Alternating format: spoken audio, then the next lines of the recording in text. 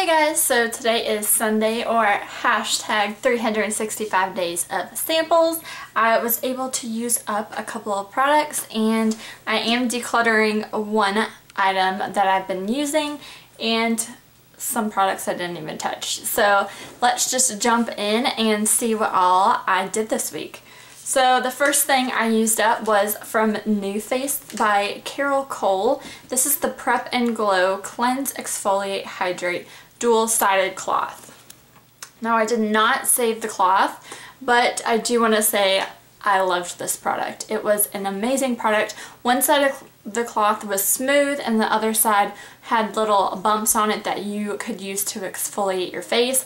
I do think it took off my makeup beautifully. You would first do the soft side all over your face to cleanse your face and then you flip it over and exfoliate with the beads and it was definitely a hydrating cloth. It did not bother my eyes. I kind of went a little bit around my eyes. I did, did take off my eye makeup with my Neutrogena eye makeup remover before um, going in with this so I didn't have like too much eye makeup on but it didn't irritate my eyes. This is oil free, alcohol and paraben free. This was a, a great wipe but it's expensive.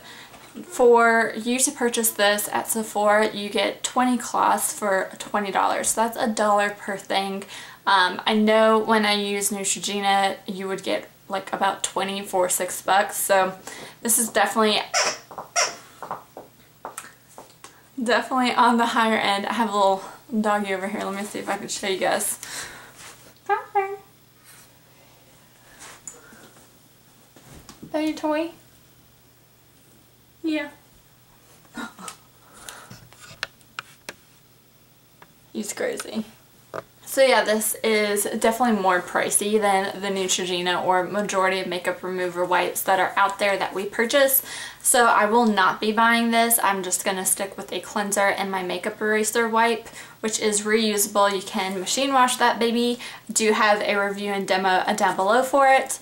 But yeah, this was a really nice product, but needs to be cheaper. Next item was from Tatcha. This is the Indigo Soothing Triple Recovery Cream. And it is that indigo color, so that was kind of interesting. When I first opened it, I think you can maybe see some remnants of it.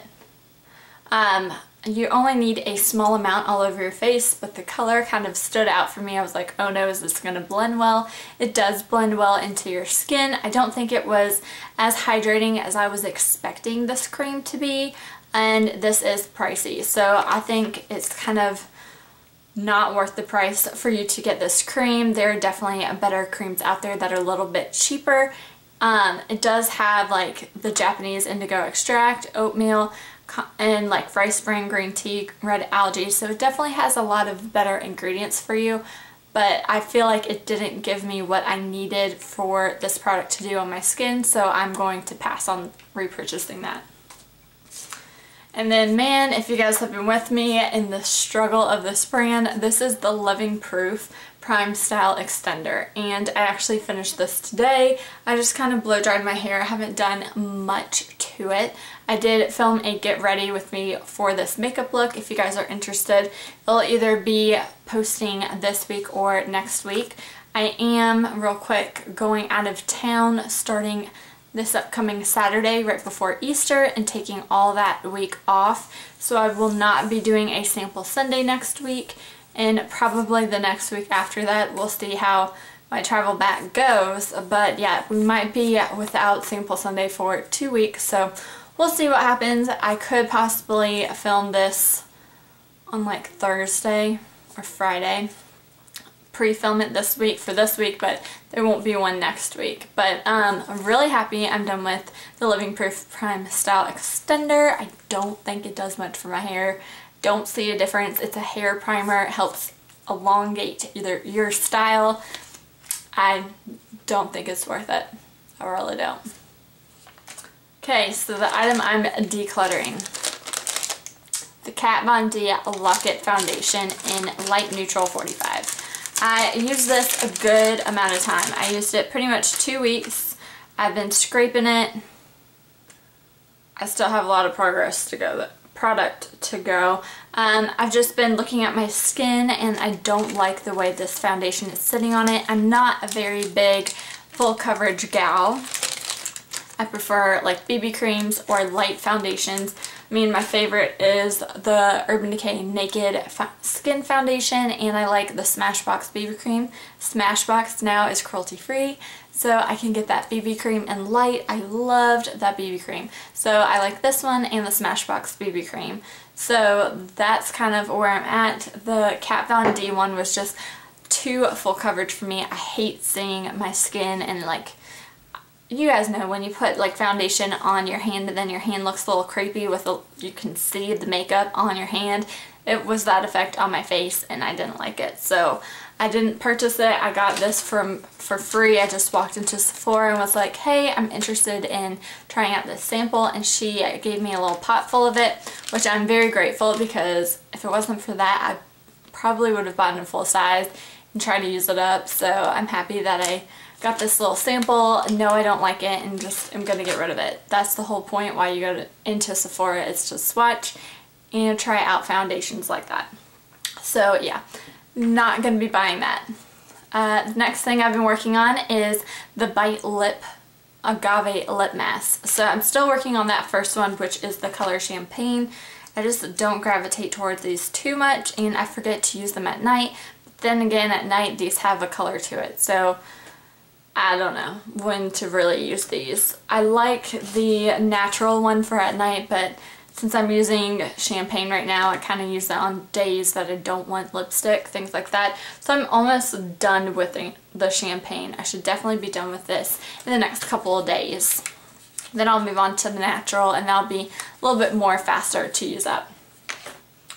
Next thing I'm still working on is actually the fragrance. I was surprised that I was still using this. Normally I go through fragrance samples pretty easy, like one a week. But um, this is the Atelier Cologne Clementine California. And you can see I have that much left to go. I'm not that big of a fan of the scent, which is why I don't think that I've been using it up. It's also not a spray, it's in like a dropper bottle. So I'm just going to continue to use it. I should definitely be done with this this week, hopefully before I film the, the update for this for Sunday. Um, but yeah, I'm just not that big of a fan of it. It's like a musky clementine scent. I will put the notes right here for you guys, but it's not something that I'm going to rush out and get. Okay, then there's one more item that I was working on. You can't tell the difference, but this is from Living Bloom. This is the Healing Flower Oil looks like this and I'm still about there. This is going to take forever to use up. Um, I am still going to put this in these projects just to keep my mind on it, to keep remembering that this is something to be using up. Um, I typically don't like doing that just because I know it's going to take it's going to take a couple months, but this is going to be one of those in this. That's why I do 10 items that I'm just going to keep chugging on and trying to work on. So yeah, we'll see how this goes this week. Then there are three items that I did not open or did not touch. The first one is from Ouai. This is the Wave Spray. I haven't really been working on it. This is going to take forever as well. Um, I used this, mm, I didn't use this because I typically had my hair straight so I didn't need a wave spray for it. Next product is from GlamGlow. This is the Glowstarter Mega Illuminating Moisturizer. And I didn't reach for this because this was sitting up in my vanity instead of my bathroom downstairs when I do put on moisturizer. So I do need to remember to use this this week.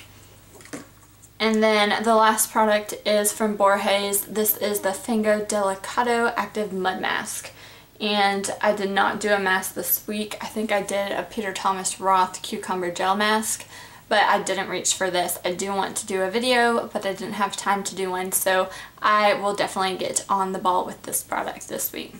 Still working on six items. So we're going into the box to pick out four more. So I have one. Oh my gosh, these are big. I'm getting to the bigger ones too oh gosh, three, four. I got some big ones, guys. I got from Hum Beauty. This is the Raw Beauty Green Superfood Powder. So I'll be trying this out. I will probably make a fruit smoothie and pour some of this in it. I did, when I received the sample of this with my Urban Decay palette, saw that Fort Worth Famous or Jacqueline um, said that this tastes like, I can't remember, green, green monster or something. Like disgusting. Like she said it was gross. So we'll see and that might be interesting to watch me trying what this tastes like. So yeah, that's something I'll be doing this week. Then I have from Cover FX, this is the Custom Enhanced Dropper in the shade Moonlight. And I think I received this from a Sephora Play. Haven't reached for it, but this will probably not be one that I continually have in this product project. But it looks like this. Let's watch it. It's gorgeous. I have never tried these out before. This might be really gorgeous to take though to Florida, kind of mix in with my foundation or apply as a highlight.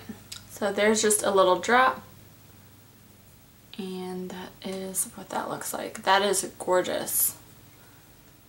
Don't know how well you guys can see that, but it is beautiful. So I'm really happy to try this product out. And Cover FX is cruelty free. I think Hum Nutrition is cruelty free as well. I've been trying to only do cruelty free in that box now.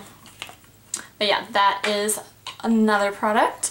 The next product is from Christophe, Christophe Robin or Christopher Robin from Winnie the Pooh. I'm just kidding. Um, this is the Regenerating Mask with Rare Prickly Pear Seed Oil. so it's paraben, silicone, SLS colorant free.